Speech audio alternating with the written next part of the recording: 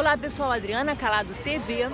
Hoje eu comecei o dia aqui, a semana aliás, com um susto. Eu estava vendo o jornal é, alemão, né? E mais uma vez a Alemanha escreveu assim embaixo no, no, nas notícias é, mais rápidas, né? Eles passam a notícia assim embaixo da, da notícia principal. Escreveu é, Elf Toten em, Brasília é, 11 mortos em Brasi no Brasil, né? Aí eu levei um susto quando eu vi Brasília, 11 mortos. Eu falei, gente, onde foi isso?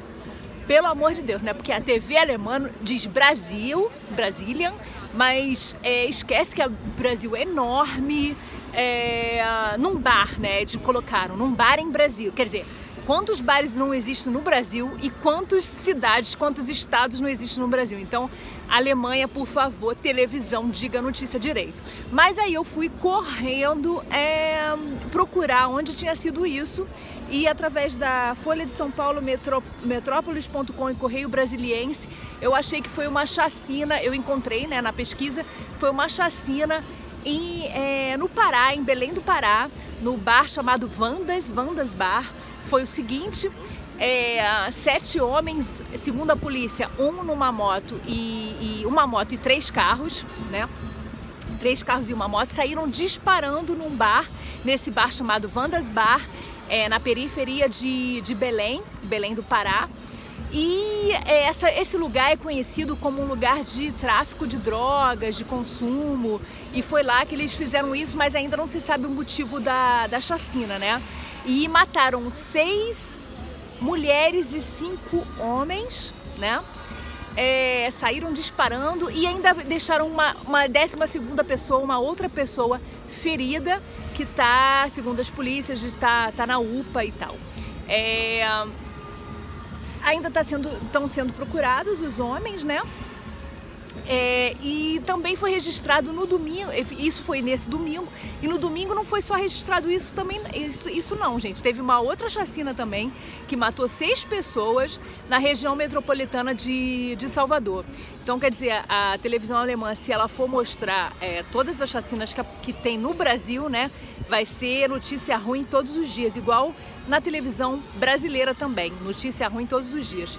Mas é isso, queria compartilhar essa, infelizmente, essa notícia ruim aí do Brasil. É a notícia do Brasil, mas é, eu vi aqui na Alemanha, por isso, na televisão da Alemanha, por isso é, eu, achei, é, é eu achei procedente é, fazer esse vídeo.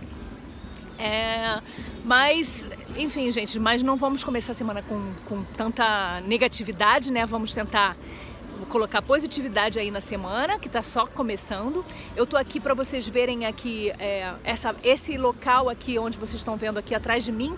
Eu tô na Odeonsplatz, Platz, que é a praça onde mais uma notícia ruim, mas essa notícia do passado, né? Onde o Hitler é, começou os primeiros discursos dele, começou a sua carreira de ditador, né? Ele aqui ele convenceu muitas e muitas pessoas ah, com seus discursos é, de ódio. É, quem assiste meu canal já viu, eu já mostrei essa praça aqui em outros vídeos. Ali, ali atrás é a Reside Palácio Residência, tá? E aqui é o Odeonsplatz. Ali vocês podem ver que tem dois, dois, é, duas estátuas de leão, leão, que é o símbolo, o leão é o símbolo da, da Baviera, né, da Bavária. Por isso que tem muitos leões aqui é, ali também na Palácio Residência tem, tem uma estátua ali do leão, que inclusive é tradição você colocar a mãozinha na patinha do leão e fazer seus pedidos. Três pedidos, segundo a tradição, serão realizados. Eu fiz isso quando cheguei aqui e é, meus pedidos foram realizados, gente. Bom, mas vamos então é, tentar é, tentar não, não, não influenciar a nossa vida com notícias tão ruins. É uma tragédia, é muito triste. Mas é isso. Boa semana para vocês. Eu quero desejar e até um próximo vídeo. Beijo. Televisão alemã, por favor. Brasil é muito grande.